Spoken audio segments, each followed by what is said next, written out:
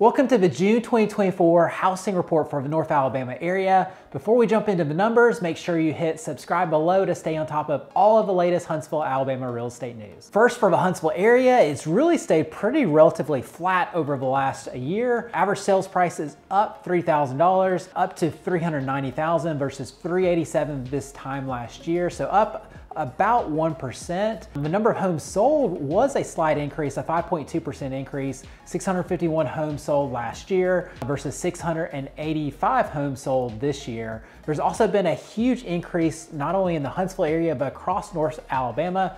42.9% increase in terms of the number of homes on the market, sitting at 2,237 homes versus only 1,565 this time last year. Now for the Athens area, the Athens area has continued to rise in terms of average sales price, up a whopping $20,000 year over year, $393,000 versus $373 this time last year. It has been neck and neck with Huntsville over the last several months, and it has now outpaced Huntsville in terms of the average sales price. That is now a first for Athens. I expect that to continue to be the trend as Athens is a growing suburb with uh, really highly desirable school districts, uh, lots of things to do out in uh, Athens, including the new Buc-ee's. So Athens is definitely an area on the rise. Continue to look for that trend. However, homes sold did see a decrease, a 11.6% decrease year over year, 211 versus 189. And as in all the other areas as well, a huge increase in terms of number of homes on the market, a 59% increase. 819 versus 515. Morgan County continues to rise as one of the affordable housing areas in our market. Average sales price is up $6,000. Now we're close to $300,000, 297 versus 291 this time last year. There was a pretty significant decrease in terms of percentage in terms of number of homes sold. In reality, that was only a 20 home sold difference, but a 17.3% decrease 135 last year versus 115. And with all the like all the other areas as well, a big increase in terms of the number of homes on the market, a 72.3% increase, 386 versus 224. So for the overall North Alabama market, new listings is actually relatively flat year over year, down only a half a percent, 1495 versus 1502. That is significant because new listings have been on a tear the first five months, starting to level off in the June timeframe. Pending sales are down slightly at 3.2%, so relatively flat year over year, 1101 versus 1137 this time last year. A little bit of context here, you know, nationally, we saw uh, about 6 million homes sold during the pandemic area.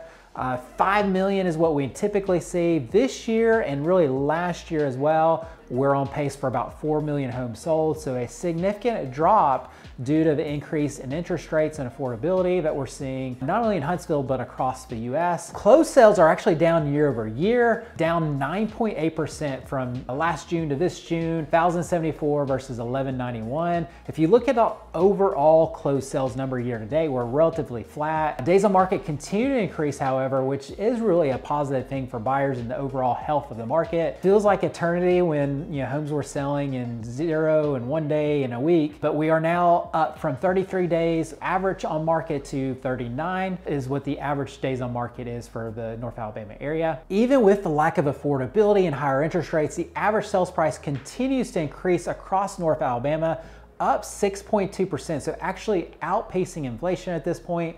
350,261 was the number last year. Uh, for buyers last year, they're seeing about a $20,000 gain in terms of the average home. 371,865 is now the new average sales price.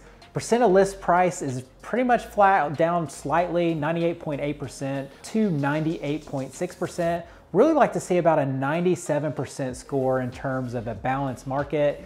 I think we are closer than the number appears because a lot of builders are kind of hiding that number in concessions in other fields. And so I, I think we are at that 97% mark, you know, kind of overall for the market. Housing affordability is still down. This time last year, we're at 93. We're now at a score of 89 with the increase of prices.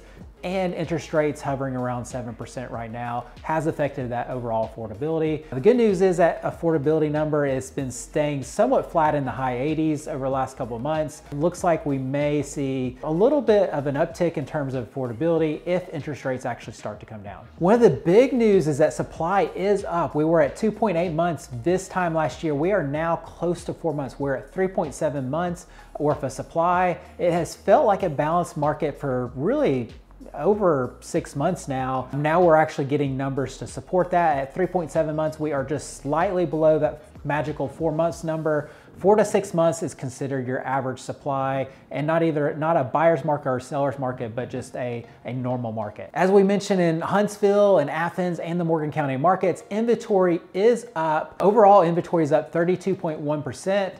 We are sitting at more homes available to choose from, over 800 additional homes to choose from.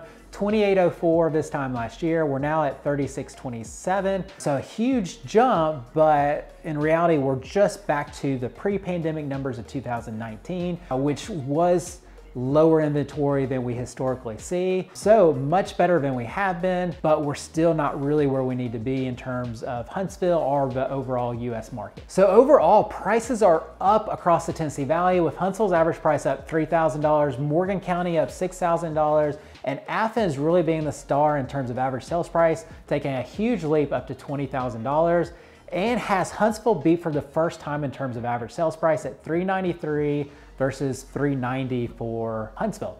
I expect Athens really to continue to outpace Huntsville moving forward as a desirable suburb to live in and really to commute into those Huntsville jobs. So new listings have leveled off for the first time this year after a huge surge in the first five months of the year. We'll see if that trend continues. Over the last week or so, we have seen an uptick in terms of uh, listing signs. So I think that is a short pause, but we'll see how the July and the August numbers look to see if that's a trend. Inventory and supply are both up 30% year over year, which really just again has us back to those pre-pandemic numbers of 2019. And we're also very close to that balanced market. Now with 3.7 months worth of supply, four to six months is by definition a balanced market. It feels like a buyer's market because of the extreme seller's market that we've experienced with low inventory over the pandemic era. In reality, the market is just normalizing in terms of appreciation rates and supply. However, the number of homes sold is relatively flat, down 0.6% year over year,